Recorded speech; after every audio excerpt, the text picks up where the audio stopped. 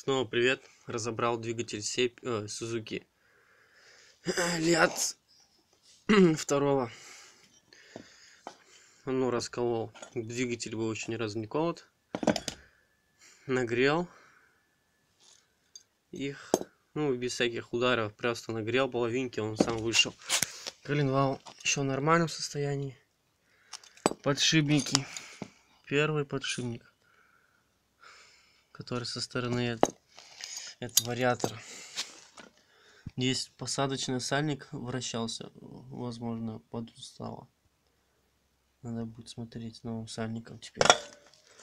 Потом здесь аж отпечатки от подшипников остались. Джапан, шмапан. Какие тут стоят у нас? Кое какие-то. Размер.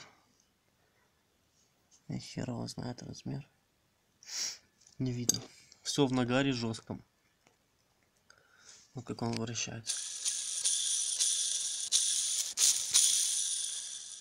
Шумит, короче. Второй со стороны зажигания. Сальник тут тоже потел. Второй сальник. Один сальник уже видели. Потом вот эта погрызана стенка снутри. Видно, да, вот это алюминиевая матовая. Оттуда прям высыпались вот эти все частички сепаратора. Второй подшипник был рассыпан. Вот.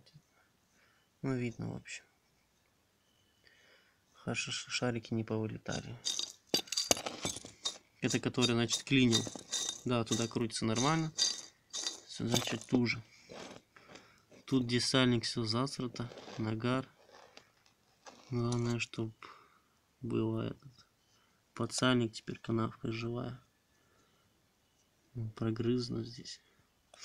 Посмотрим, новый сальник должен держать. В общем, вот так. Этот сальник еще выбьем. Видите, расколот, ремонт идет.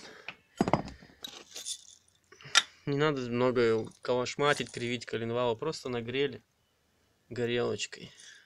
Или еще чем у вас есть нужно греть именно алюминий, не коленвал кочегарь, а ну, половинки, чтобы отпустили подшипники. И все, спокойно. Здесь стоят разные подшипники. Вот больше, этот меньше. Ну, в общем, так все интересно сделано. Не как на Honda 2 одинаковых. Это по, побольше усилия выдерживает. Много шариков тут для оборотов. Это такой поменьше, где зажигание. Такой коленвальчик у него родной тоже. Тут отверстие для баланса. Мы еще будем проверять балансировку. Поршневая будет на росточке.